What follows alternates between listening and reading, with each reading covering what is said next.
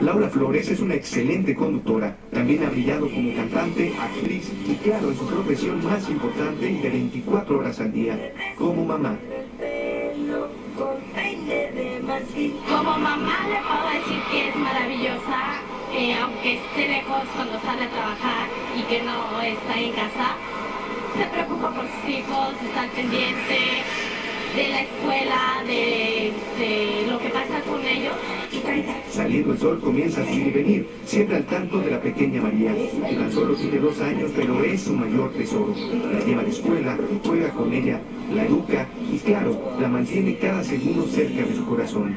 La acompañamos a su clase de natación y bueno, la risa de María expresa la alegría que siente junto a su mamá. Como mamá es una persona muy excelente porque eh, pues está siempre pendiente de los avances que tiene María. Entre chapoteos y salpicar de agua, hija y mamá se divirtieron en grande. Pero es tan solo una muestra de la mayor y más difícil profesión del mundo, ser mamá. Las personas que conviven con Laura aseguran que es muy buena mamá, pero la llegada de María le ha cambiado completamente la vida. Volví a nacer con ella. Dios me permitió volver a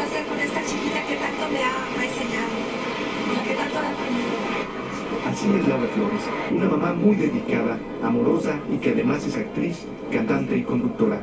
Tanto trabajo que bueno, este 10 de mayo merece mucho más que un felicidades. Besos a todas las mamás. Tienes otra.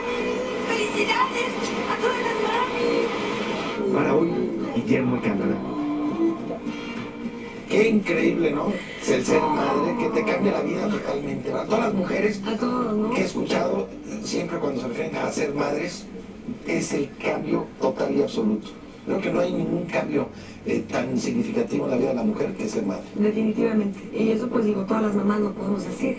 Y luego muchas veces quisieras poder explicar a alguien que no es mamá, o uno que cuando, cuando no eres mamá quisieras entenderlo y no, realmente nunca vas a entender lo que es mamá hasta que lo vives. Tener un hijo no se puede platicar, solo se puede vivir. Oye, ¿tú te acuerdas de la primera vez que te dijo María del Cielo, mamá? Sí. ¿Sí? Pues ya sabes que soy una chillona, Alfredo. Entonces, por supuesto que lloré, lloré y lloré. ¿Cómo? ¿Cómo te lo digo? Ay, mira, hoy lloré. Hoy lloré. ¿Esto es hoy en la Eh, mañana? esta mañana, eh, en el kinder de mi niña, ahí está su Miss Rosy arriba y bueno, ahí está Doña María en la escuela, en el kinder.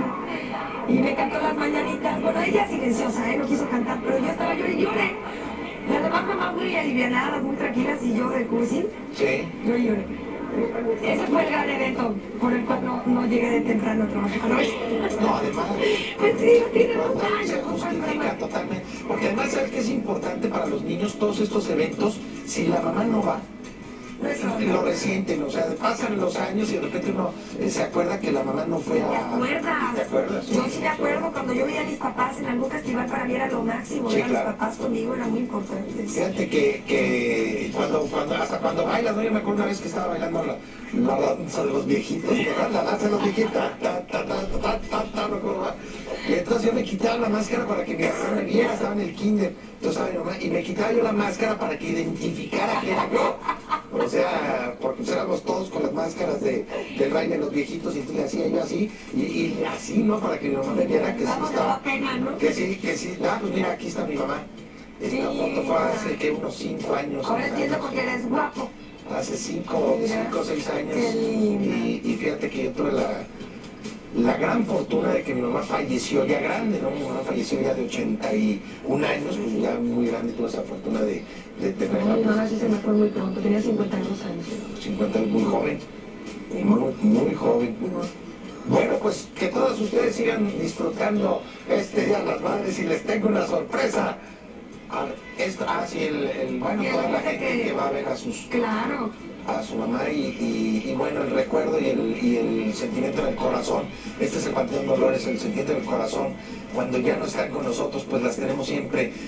Porque la madre siempre se lleva al final de cuentas en el corazón la vida. Definitivamente, Alfredo. Digo, yo creo que es importante la parte simbólica de ir a dejar flores en donde descansan los restos de- físicos del familiar, pero pues mi mamá me acompaña a todas partes. Claro. no sabes la de consejos que me ha dado para educar a mi hija. Yo siento que recibo mensajes muy bonitos, ¿no? Sí, le llevan flores, este, pues a, a la, a la madre que ya no está. Si yo estas flores tan hermosas que me acaban de regalar, eh, yo se las quisiera regalar a mi mamá. Claro. Definitivamente son para ti, manita. No, Oye, y gracias. a nuestros amigos del mercado de Jamaica que mandaron estas, estas flores y otras que andan por ahí también. Muchas, muchas gracias. Vamos a un corte comercial, seguimos festejando a las madres y, y ahorita va a haber un dueto muy especial en este programa, casi al final. No, disquera, no, disquera.